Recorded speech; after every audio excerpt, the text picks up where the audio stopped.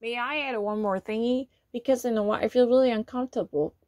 I actually noticed the pattern of a bias and prejudice also equally practiced by those believers and apostles of uh, non-Americanization and Americanism of mind, because they always you know find fault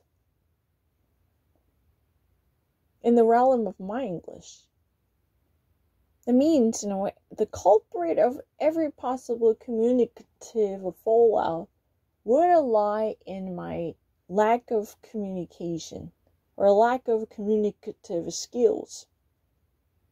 I actually witnessed so many different reasons that could be blamable.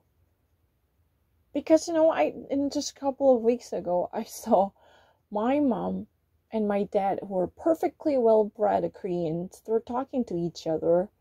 And my dad said, Oh, so this from where? Technically, she, he said she saw this from where. But you know what? She uh, he omitted a subject, a subject of the sentence. So my mom thought that he was talking to her. So my dad answered, uh, my my mom answered, "Oh, I saw it from Naver." I saw it posted on Naver.com. And he was really perplexed to hear that because of the contextual circumstances. Because there could be no way this could be posted on the website like Google or Naver. There's no chance. And he was really um, bewildered to hear that. That was completely unexpected and somewhat, yeah, but the problem is, you know, any type of um, communication could go wrong because of different reasons other than language fluency or proficiency. But my haters always find the cause in language. Language is really the proper tool. The language, I mean. What language I'm referring to. is very obvious. They always had the reason why. It's really kind of uh, shocking because they always you know make their deduction based upon the backward thinking. They always draw a conclusion based upon the my ex post facto behaviors because they were so keen on analyzing or monitoring my behaviors according to their own thesis, right? this is really dogmatic creed to tell the truth. You know, they already created a religious cult to say that they actually know everything about me. They had such a deep, you know, understanding that would, know, what, um, that would actually make them sp- specifically professional about analyzing taste in the composer and the constitution of my being. That's what they normally argue.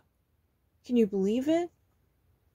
I mean, I think, you know, this is really a dangerous idea. Those are nothing but a byproducts and a product of a prejudice.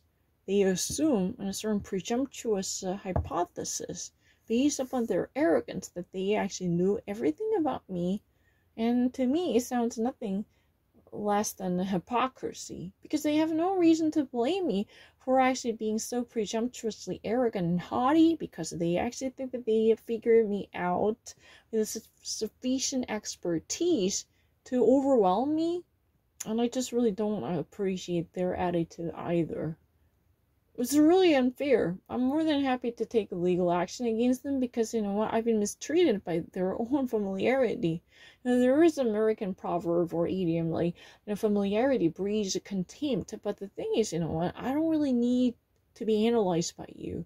You're not really the person who can actually wield the scepter by claiming the greatest authority in the analysis of my humanness or my humanity. No, I don't think so. You don't really know a thing about me. That's a really a totally a smattering knowledge of someone's personhood. Just simply we're actually you know tied together by this in a bloody kinship per se. Huh.